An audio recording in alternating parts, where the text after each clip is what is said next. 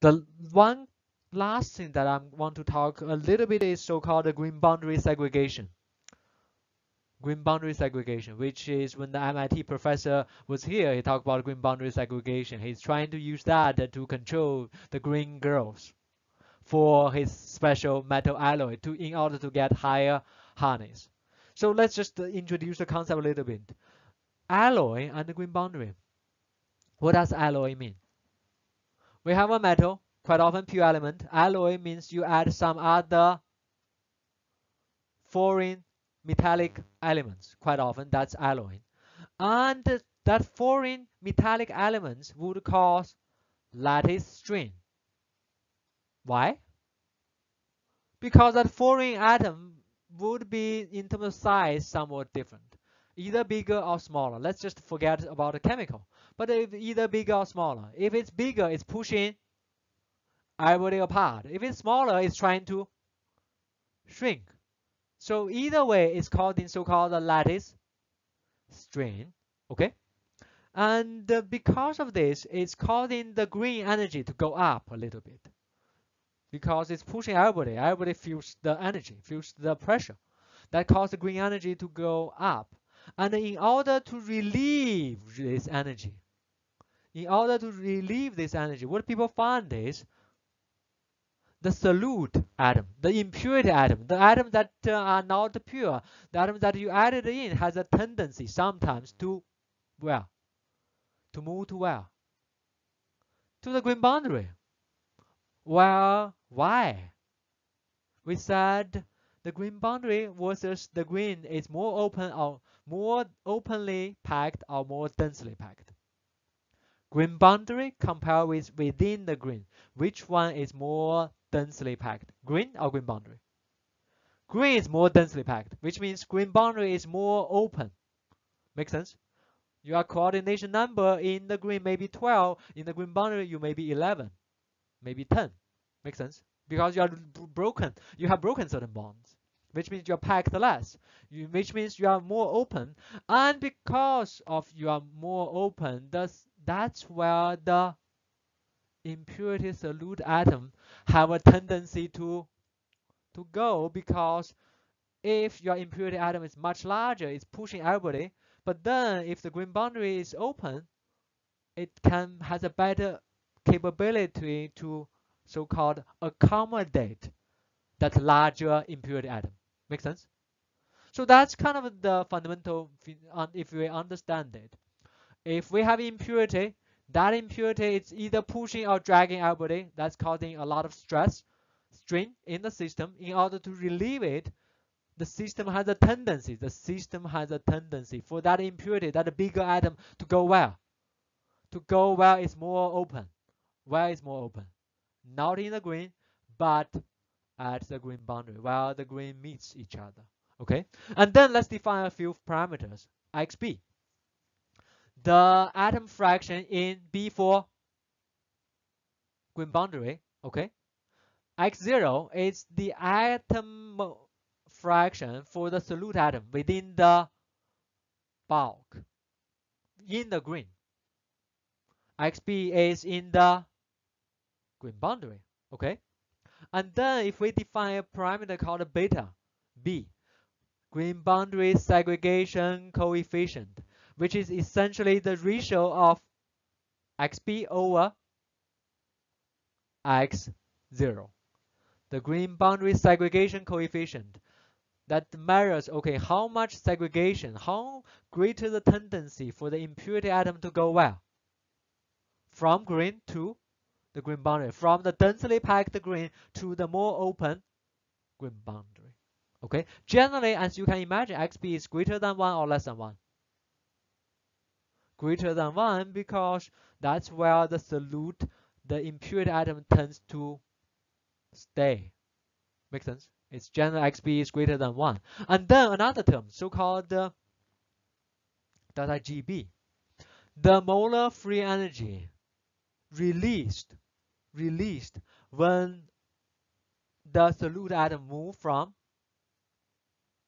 from where inside of the grain in the densely packed region to grain boundary where it's more open the amount of energy that is released, that is given out when a when a molar or one atom move from within the grain to the grain boundary. Okay. So for dilute alloy, people find this relationship XB.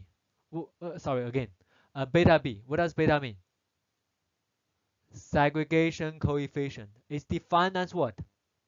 XB over X0. Segregation coefficient is defined as the ratio of atom fraction in the boundary, grain boundary, divided by the atom fraction in the grain, in the bulk. This ratio would be exponential of GB over RT. Okay? And we said that typically delta GB is a positive number.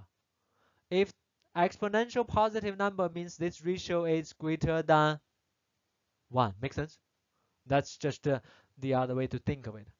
And then what about temperature impact? When temperature goes lower, this beta become larger or smaller. When T goes lower, this beta become larger or smaller. Larger, what does that mean? For a given system, the lower the temperature, the more segregation or the less segregation.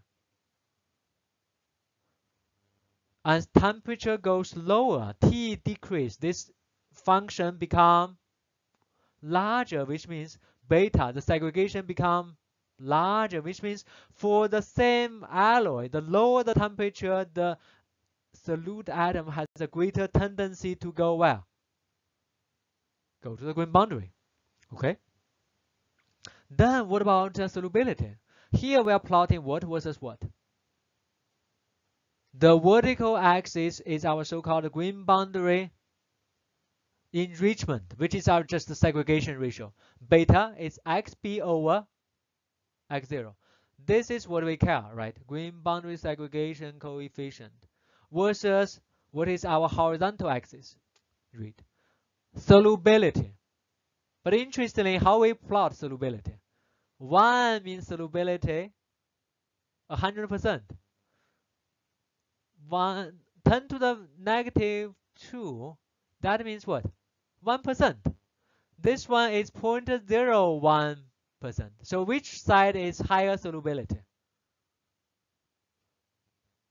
On this plot, which side is higher solubility? Atom solubility, which side is higher solubility? Left side is higher solubility. The right side is lower solubility. What does this plot show is that, okay, the lower the solubility, the higher the extent of grain boundary segregation. Make sense? When you think, the lower the solubility means what? The solute likes the solvent or the solute hates the solvent. The lower the solubility.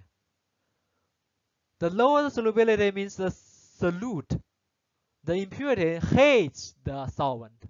And of course, where would that solute go? To go to the boundary. Make sense?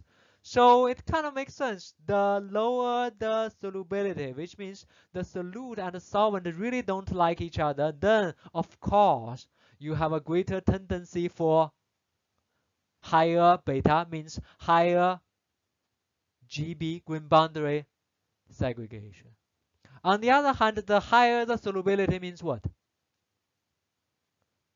The higher the solubility means the solute and the solvent, they like each other the highest solubility, they really like each other.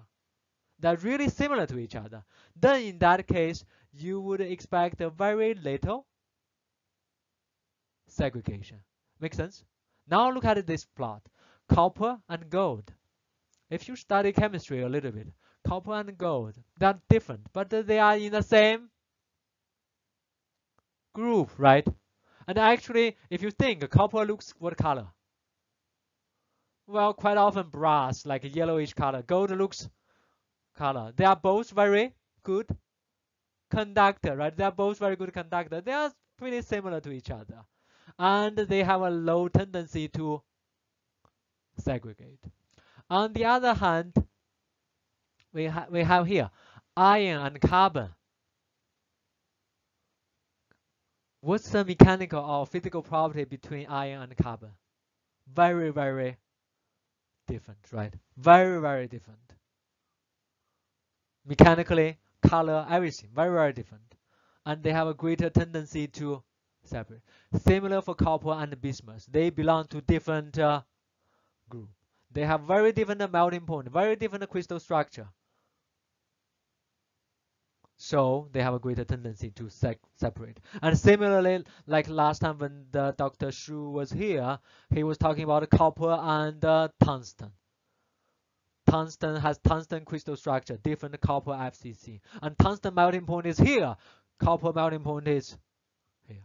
So, of course, they have a tendency to segregate. And he's using that trick to limit the grain growth. Okay, let's stop here. Thank you.